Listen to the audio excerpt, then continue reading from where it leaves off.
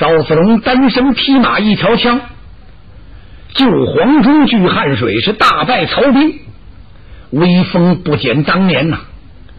哎呦，曹操这一仗败的可真惨哦！从汉水败回了南郑，这仗败的窝囊。曹操回到南郑，坐在这儿这么一琢磨，我怎么败的呀？哦，合着我是让赵云给吓败的。哎呀呀！如果赵云人马多我几倍，我败的还有情可说。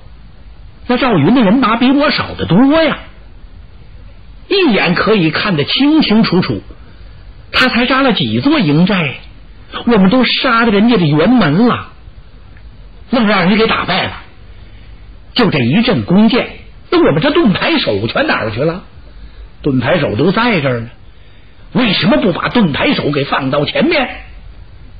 这倒不错，像那半瓶醋武术一样，挨完打了，把招想起来了，那有什么用啊？曹操想在这休息几天。也就算休整休整吧。忽然间有人来报，说刘备和诸葛孔明啊，已经在汉水下寨。哎呦！曹操一听不行，我别在这休整了，我必须得复夺汉水，非得把定军山取回来不可。对了，我这大门口归了他，那我这汉中就没法再保全了。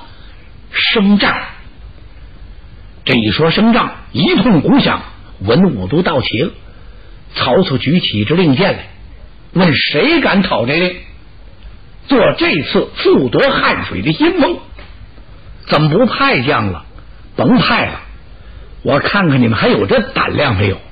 是不是叫西蜀兵把你们杀的是丢魂落魄？真要让人家吓破了胆呐，就没人敢来请这令了。我不派了，我派谁难为谁。曹操举着这令，在这说话的同时，他看了一眼徐晃。呵，徐晃心里头这不是滋味哦，心说我这次的先锋官没当好啊。魏王看中我呀，这么些员大将单派我为先锋，你瞧我这脸丢的，连个老黄忠我都没截住。没截住黄忠还不算，已经都杀的人家赵云的营门了。就因为人家赵云立马横枪往那一站，连眼都不眨。说实在的，他把我吓得退回来了。说退好听，就是把我吓跑了。现在魏王举着令在那儿问：从许都出兵的时候怎么不问呢？当时就派我为先锋了，现在为什么举着令箭问我们呢？这是怕难为我们。不行，我还得把这支先锋令要过来。想到这儿，徐晃是挺胸出班，插手施礼。徐晃不才愿逃，此令。嗯，曹操左手一捻胡须，微微一笑，心里说：“徐晃，你这令算讨对了。”要多加小心，不劳嘱咐。说着，他把令箭接过来。光去他一人不行啊，需要派一个副将。曹操刚想到这个，只见从武将之中。走出一个人来，此人身高七尺开外，年纪在三十上下，面似淡金，黄中透润，一双剑眉斜插入鬓，二目有神，翻山得配，四方阔口，大耳有轮，海下三流短髯。出班冲曹操拱手施礼，末将不才，愿助徐晃将军一臂之力。因为汉中一带这地理我非常熟悉，愿大王赐我一令。哦，曹操上下一打量，这人原来正是自己手下牙将。此人姓王，名平，字子君，乃四川砀渠人士。这砀渠在哪儿啊？就是现在的四川砀县东北。哎呀呀！曹操乐了，徐晃此去复夺汉水，有王平相助，万无一失。你等遇事商议而行，点人马五千，立刻进兵，不得有误。得令，老夫随后接应。得令啊！二将把令箭接过来了，一声炮响，率领着五千人马奔汉水与蜀军决战。这回非得见个高低上下，要不然完不了啊！徐晃这儿进兵呢，不说他进兵，再说说刘备、刘玄德。刘备和诸葛先生人马来到了汉水，下了寨。赵云和黄忠交令，把这经过这么一说，人家赵云呐，非常有深沉。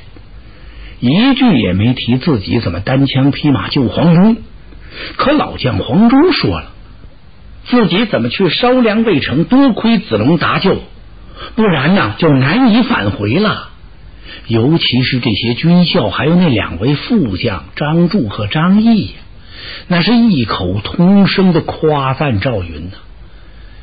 赵云将军可太了不起了。是怎么聚的营门？怎么救的张柱和黄忠？怎么杀退的曹操？嚯，都说呀！说的玄德越听越高兴，他挽着赵云的手，上下打量赵云呐。四弟，子龙，你真乃是备之孤胆英雄啊！难得的虎将，一身是胆。胆包深，你说这胆子有多大的了？当时刘备加封赵云为虎威将军，赐重金呢，全营上下无不称赞折服，没有不服的，没有。你不服，你不服，你来了呀？谁有这么大的胆子呀？单枪匹马几次入重围，据守营门，把曹军杀的大败。既有勇又有志啊，所以人皆拜服啊。刘备加封了赵云之后，又封赏了黄忠。别看老将军没烧成这粮食，但是精神可嘉呀。连那副将张柱、张毅，这么说吧，是跟着黄忠、赵云来烧粮的这些人，是皆有封赏。刘备在营中设宴，给赵云贺功啊。欢宴了一天呐，到了晚间，诸葛军师啊，把众文武找来商议，商议什么呀？说是曹操此次兵败南郑，他很快就会回来，他让我们四将军给吓跑了。等他回过味儿来的时候，他立刻就得出兵复夺汉水，我们应该早做提防。当时啊，军师派赵云和黄忠领一哨人马看住耶谷方向，严防曹军来取。我随后就去接应。诸葛亮军师把令箭交给了赵云、黄忠、赵云二将，刚把人马点齐呀，探报就来了，说曹操派徐晃为先锋，王平为副先锋。兵出野谷来复夺汉水，哼！众文武一个个暗挑大指啊！我家军师略势如神呢。曹操这盘棋呀，就好像我们军师诸葛亮下一样，哪个子儿放哪儿都知道，准知道他从耶谷进兵。黄忠、赵云二将立刻是点炮迎敌，带领人马就迎上去了。曹操那位先锋官徐晃呢？来了，还耽误了点时间呢。怎么耽误时间了呢？这正先锋和那副先锋啊，因为扎营，两人吵起来了。一到汉水啊，徐晃就要把人马带过去，说我就在江边扎营。王平一听，那可不行，怎么呢？我的徐先锋，那危险呐！怎么？如果人家蜀军来打呢？你没有退路啊！这不是自己找苦吃吗？嗯，徐晃听到这，把头这么一晃，上下打量了打量王平。子君将军，如此看来呀，呵呵，下话他没说，怎么你这兵书战策看的不多呀？战争典故你知道的也很少哦。王平将军，想当年楚汉相争之时，汉王拜韩信为帅，韩信是大破楚军呐。他曾经有一次。就把人马扎在河边，结果把楚军杀的大败。为什么呢？这叫置之死地而后生。哎呀！王平听到这儿摇了摇头啊。徐晃将军，彼时此一时啊，那是什么时候？这段故事我知道。韩信大败楚军呐。那当时楚军军心涣散，无心恋战，汉军斗志正旺。韩信为什么要把人马扎在河边？那是战斗的需要，此之谓背水一战呢。就是说，你只能前进，不能后退，没有退路啊。为此呢，汉军一鼓作气，才把楚军给杀败。今天咱们能跟那时候比吗？徐晃将军，你想想，如果诸葛亮要把赵云和黄忠派来，你当如何？赵云、黄忠非西楚霸王可比呀！徐晃心里这不痛快，心说：王平，你干嘛呀？你左一个赵云，右一个赵云的，你是拿赵云吓唬我呀？是怎么着？你要不提他呀，还好点。就冲你今儿这一提，我非上那边扎营去不可。我到底看看他怎么能把我杀败。我今儿就要学一学韩信，背水一战，置之死地而后生。看你王平有何话讲？这样吧，王平将军，你领人马看守大寨，带我过江扎营。就这么着，耽误了一段时间。徐晃把人马带过来，徐晃人马刚带过来，黄忠、赵云就到了。徐晃那个寨还没扎住呢，赵云和黄忠啊，二位将军分了工了，一个是从南边杀，一个是从北边杀，像一把大剪刀一样，咔嚓这一下就把徐晃给杀的望风而逃啊！哎呦，他那人马哟！掉到水里淹死的也不知有多少。徐晃这一口气败回了大营，他败回来这么一看呐，嘿，王平可真稳当。你不让我看着营房吗？他就在江这边的营房里看着。徐晃这气好啊，王平，你有意投西蜀啊？是怎么着？把王平吓一跳。哎，将军，此话怎讲？你看见了，我让黄忠、赵云杀的大败，为什么不出兵去接应我呢？王平心里可真有点不大痛快。徐晃将军，你在过江的时候，我不是告诉你了吗？不要使这招数，这招数不灵。你不听啊？我怎么敢离开大寨？我要离寨去救你。我这一共有多少人马？这大寨被人家取了怎么办？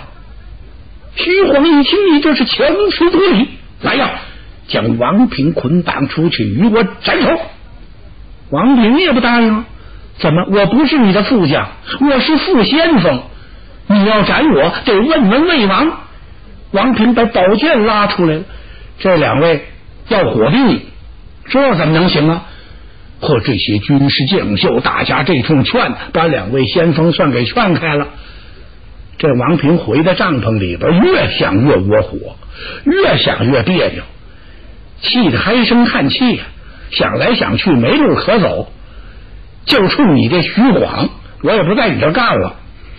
半夜三更啊，这位王平将军砰一把大火，把这营房给烧了，然后他带领着自己的亲随小校跑过汉水。上赵云这投降来了，赵云一看，哎，这倒挺痛快，太好了，您来的。立刻，赵云把他给引荐给刘备。刘备拉着王平的手。刘备早听人家说过，王平是汉中的活地图啊！哎呀呀，备今日能得子君，汉中唾手可得矣。刘备封王平为偏将军。哎呦，人家西蜀哦，得了一位大向导啊！刘备这乐呀，曹操这烦呐，合着我把这向导送给刘备了。曹操知道了，那还不知道啊？徐晃回去都说了，说我在汉水边扎营，我让王平看守大寨，我在这汉水上搭了这么一座浮桥，过去呢，跟黄忠、赵云一场苦战呢。可我万没想到，这王平感情是西蜀派到咱们这儿来的奸细。他要不反我呀，这次我就大获全胜了。他这一反，使我首尾难顾。幸亏搭那浮桥啊，不然我带去的这些人马都得淹死在汉水哟。合着人家王平劝他别在这水边扎寨，这背水一战不灵这事儿他没说，哪能说那个呀？曹操没听完，就把脸色沉下来了。哼，身为先锋官的，这么点常识能不懂吗？哪能在汉水江边扎寨呀？那背水一战，那得分什么时候？昔日韩信曾背水一战，在用兵上有置之死地而后生之说。今天你用这个战术，怎么能行啊？岂有此理！哎呦，徐晃机灵打了个冷战呢，心说我们魏王真厉害呀！合着我的事儿好像他看见了一个样。曹操喝退了徐晃，一旁站下，看老夫亲自进兵。曹操领着人马杀上来了，他杀上来了，人家赵云、黄忠恐怕孤寨难守，咵的一下。把人马撤回去了，撤到汉水以西，和曹军两军是隔水相望。这时候，刘备和孔明已经兵临前寨，带着人马来了。孔明坐着四轮车出得大寨来查看查看地形。只见在这个汉水的上流啊，有一带土山。诸葛亮一看，这个土山后边啊，可以埋伏些人马。随后，他又望着曹营的方向看了看。诸葛亮微然一笑，把手里的大扇这么一摆，吩咐一声：“回营。”军师坐着四轮车又回来了。回到大帐，秉正归坐之后，他把赵云叫过来了：“子龙啊，我给你一支令箭。”赵云赶忙把令箭接过来，说：“你带领五百精兵，多备战鼓与号角啊，埋伏在这个汉水上流土山的后面，不要轻易出战。曹操出兵来要战，我们也不理他。那么你在那埋伏着干什么呢？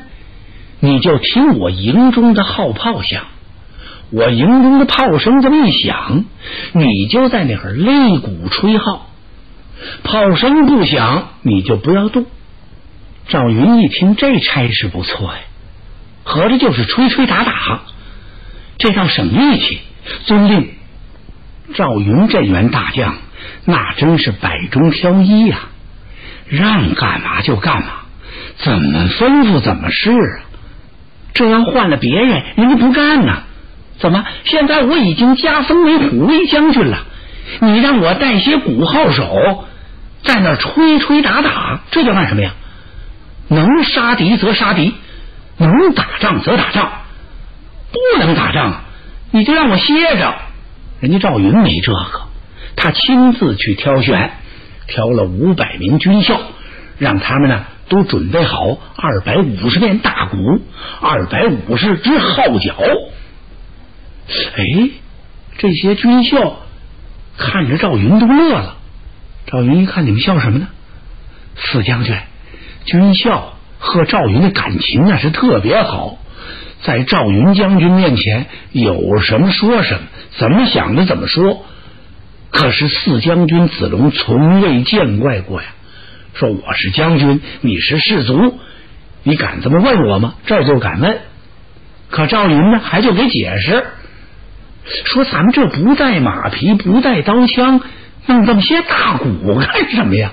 哎，军师已经吩咐了，咱们呢，到时候就吹号敲鼓，还不能轻易吹，轻易敲。咱们大营这哈多着一响炮，咱们这就开敲。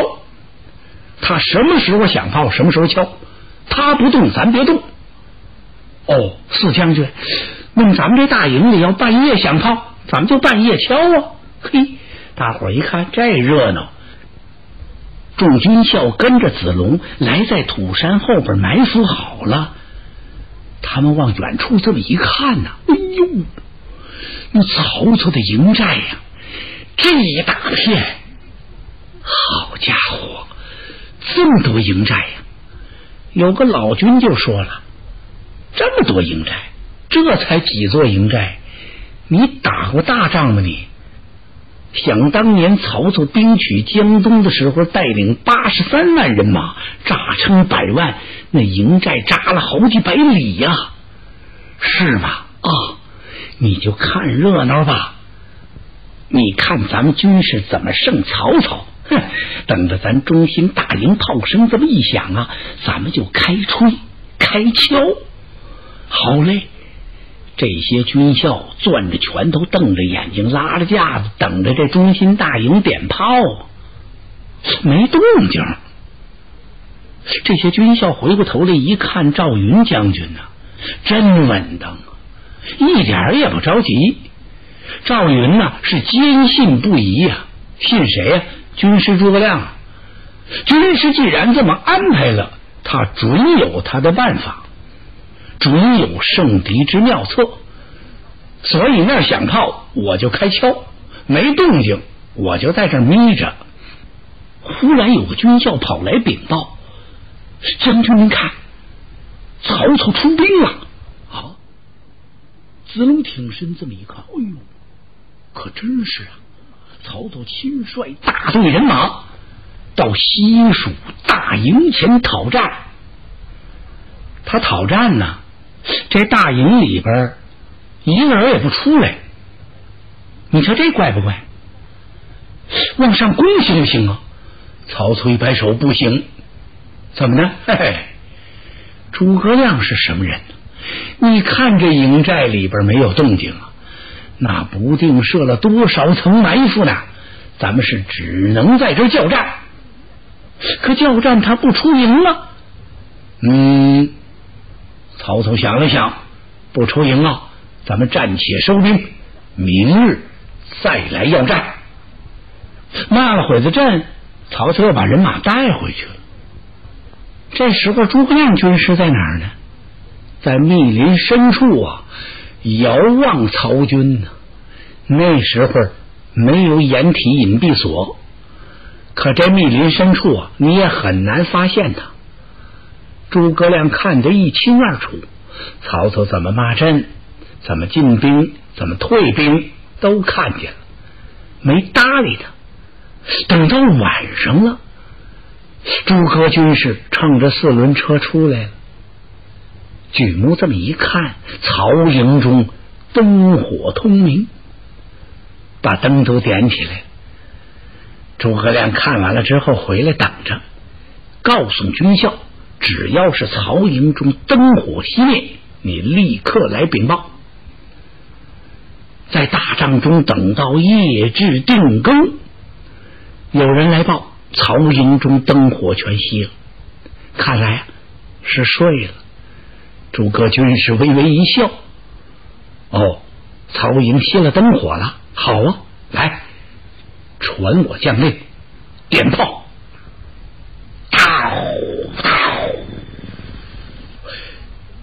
中心大营炮声响了，赵云书睛一瞪，来，击鼓鸣号，咚咚咚，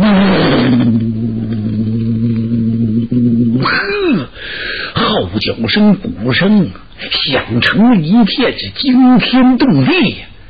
加上那营里边的炮声。这鼓炮声混在了一起，可把曹营给吓坏了。曹营里边的军校噼里扑噜全都蹦起来了。那武将一个个顶盔贯甲、罩袍束带，赶快带马。军校全把兵器抓在手里了。曹操啊，披着衣服，赶快跑出了大帐。不用问了，诸葛亮已经派人前来劫营来了，要严加防守。寺外全都安排好了人了。有人来禀报，说启禀大王，大营四周一个人没有。啊，奇怪！